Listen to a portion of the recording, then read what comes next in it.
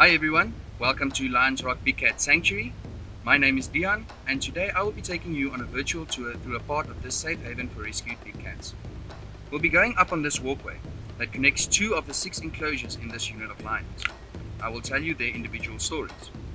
Now, as you know, lions can be a bit lazy from time to time and our species appropriate enclosures allows for them to hide away if they feel like not being seen. So we might not see all of them, but let's go have a look.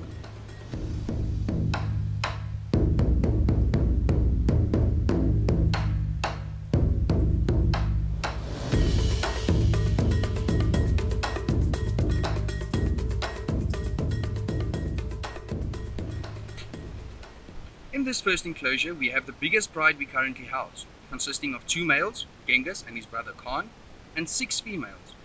All of them were born from three different litters throughout 2006, and they are some of the many animals that Four Paws took over from the previous owner when they bought the property. Now here you can see some of the females in what we call the feeding unit. Every enclosure has a smaller part like this where we feed them.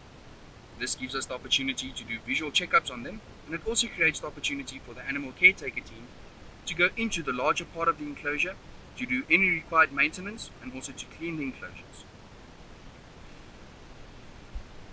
Then, in that enclosure there at the very top, there we have three females, Tara, Shiba and Onoi. Tara and Shiba is turning 16 years old this year and Onoi is turning 15. All three of them were taken over with the property.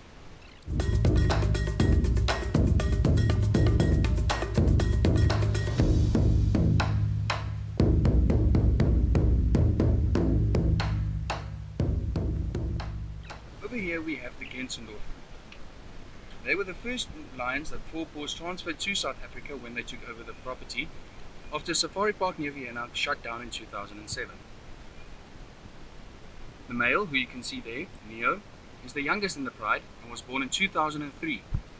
The females, Anna, Kiara and Shishti, were born throughout 1993 and 2003. They are currently some of the oldest females we have and receive some extra love and attention.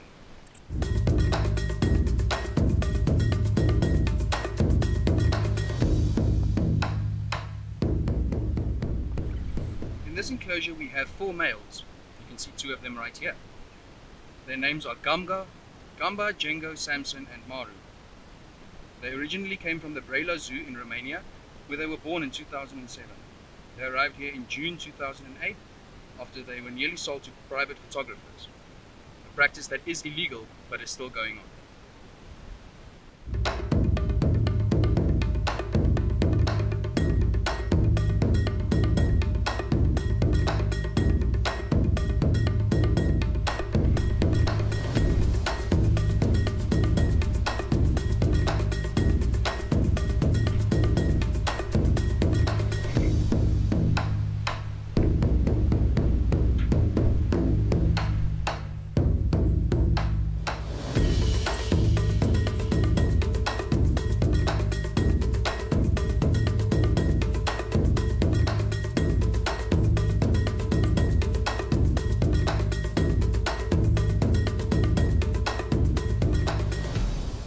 So in that enclosure there at the back, where those big, big bushes are, there we have one male Leratu and two females, Carla and Frida.